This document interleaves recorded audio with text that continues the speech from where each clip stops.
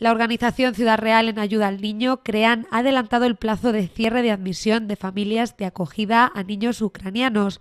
La asociación tenía previsto concluir el periodo de solicitudes el 20 de marzo, pero hace varios días que ha superado sus expectativas para el próximo verano. Se trata de un programa que se desarrolla en la provincia desde 1996 y del que se benefician niños afectados por la catástrofe nuclear de Chernóbil. Yo digo que en época de crisis, época de, solidaridad, y la gente ha respondido estupendamente.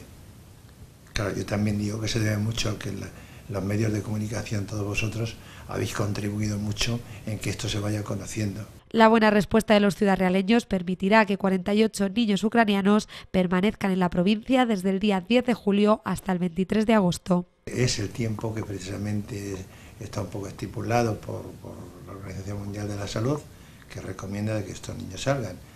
Y generalmente pues salen alrededor de 5 o 6 mil niños todos los años fuera de Ucrania. Suelen ir pues a, Italia, a Francia, a Alemania, por supuesto a España y Cuba también. Eh, a Cuba también suelen ir bastantes niños. Durante su estancia en Ciudad Real no cesarán las actividades en campamentos, piscinas y salidas al campo, todo para contribuir a limpiar su organismo. Al hecho de tenerlos aquí, pues nosotros contribuimos pues eso, a que su organismo mejore, sacarlos de allí de la contaminación, como he dicho antes, y evitar que coman, pues eso es lo que están comiendo, productos que produce la tierra contaminada de radioactividad. ¿Por qué? Porque estos niños no tienen medios, como otros los tienen, inclusive allí en Ucrania, pues a comprar productos de importación.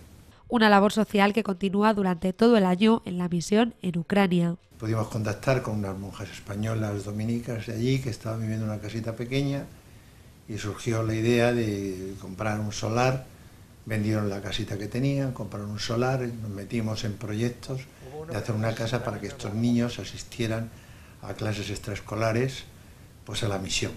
El presidente de la asociación CREAN, Ramón Serrano, recuerda que gracias a la ayuda institucional, colaborar con la asociación no genera prácticamente ningún coste. Quizás seamos en España los únicos que no pagamos, o sea que la acogida de los niños sea gratuita.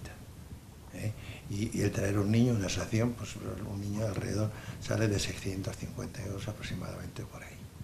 Y nosotros pues solamente hay que pagar una pequeña ayuda, que son 40 euros, pues para ayudar al viaje de los de, pagar los dos monitores que vienen, monitores también, que hablan español para cualquier problema que tengamos, y eso y ayudarles también, o sea, darle una gratificación, y solamente eso se paga, es una cantidad simbólica.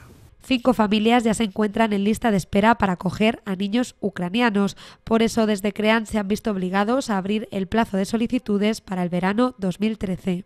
Animar a la gente que, que, no tema nada, sino todo lo contrario, que yo sé que estos niños le van a hacer felices, pero muy felices. Una acción muy gratificante que contribuye a mejorar la calidad de vida de estos niños.